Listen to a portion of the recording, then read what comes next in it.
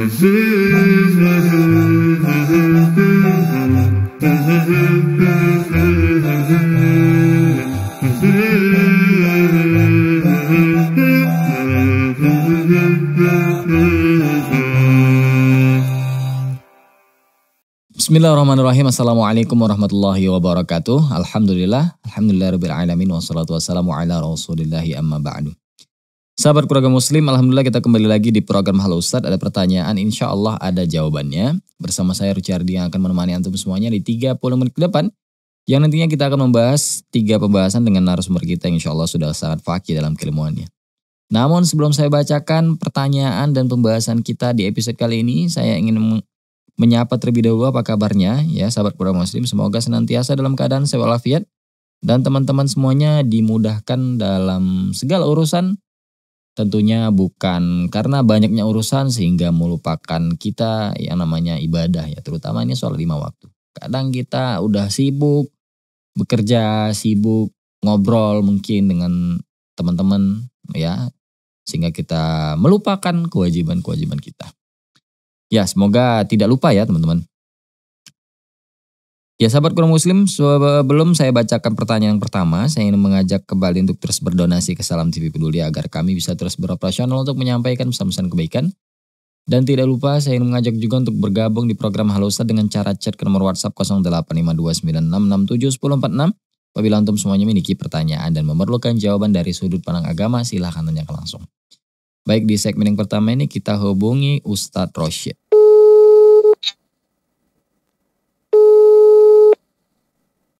Halo Ustaz, Assalamualaikum.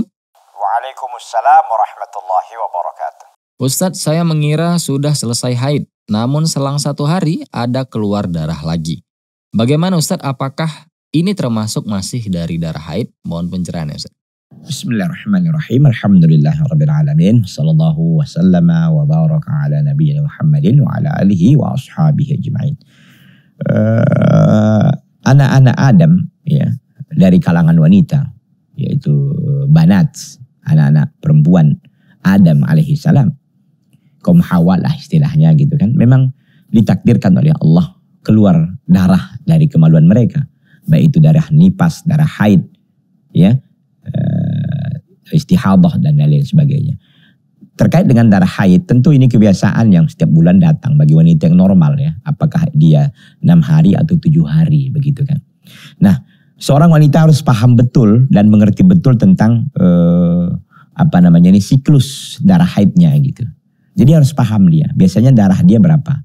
Berapa lama? Sepekan biasanya kan begitu atau tujuh hari. Nah, ketika itu sudah uh, berlalu, sudah berlalu umpamanya, lalu suci, suci gitu kan, sudah bersih.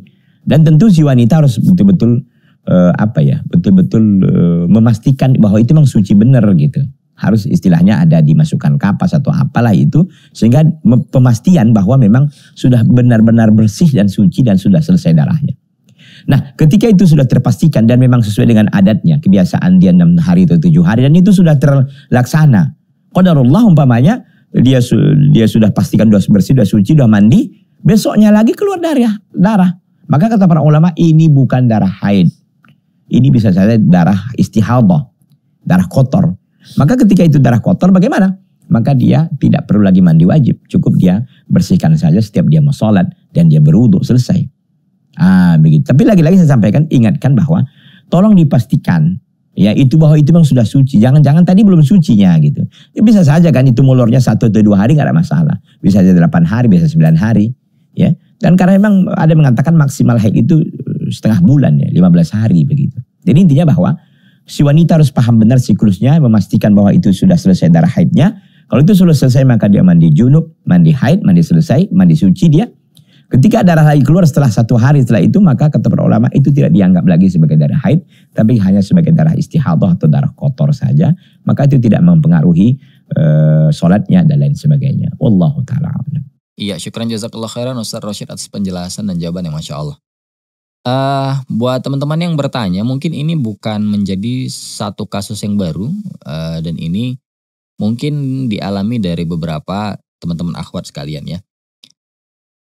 Kalau memang ini bukan dari kebiasaan, maksudnya tidak selalu seperti ini atau baru-baru terjadi sekali atau dua kali, maka ini dilihat dulu dari kebiasaan uh, haidnya sudah berapa lama gitu ya teman-teman. Misalkan teman-teman biasanya mencatat atau apa ya istilahnya uh, ditandain lah gitu ya, menandakan sudah sekian hari oke okay, sini sudah bersih, sudah bersih-bersih, sudah mandi wajib dan lain sebagainya. Dan memang ini sudah seperti biasanya seperti itu ya. Kemudian setelah selang satu hari keluar dari lagi. Dan memang ini jika sudah memang kita pastikan bahwa kebiasaan seperti itu, bukan kebiasaan seperti itu maksudnya. Memang kebiasaannya adalah kita misalnya tujuh hari dan itu memang sudah bersih. Kemudian selang satu hari darah ini bisa dipastikan bahwasanya ini bukan darah haid lagi teman-teman. Tapi ini termasuk dari darah istihadoh namanya yang disampaikan oleh Ustaz Rosyid tadi ya. Dan ini eh, darah kotor namanya ya teman-teman. Dan, dan tidak perlu mandi wajib lagi. Dan kita tetap bisa untuk eh, apa namanya melaksanakan sholat dan ibadah-ibadah lainnya seperti biasa. Seperti itu ya teman-teman. Namun catatan pentingnya adalah memang harus kita pastikan lagi bahwasanya memang ini sudah eh, bersih ya, bukan darah haid lagi seperti yang sudah kita tandai atau kita catat dari eh, apa namanya dari, dari haid-haid yang sebelum sebelumnya gitu ya. Ya Allah alam semoga tercerahkan sahabat yang bertanya nanti akan kita lanjutkan di segmen berikutnya jangan ke mana-mana tetap di program Halo Ustaz. Ustadz, apakah selain keluarga boleh menerima warisan karena memang diwasiatkan oleh yang punya harta? Mohon pencerahannya Ustaz.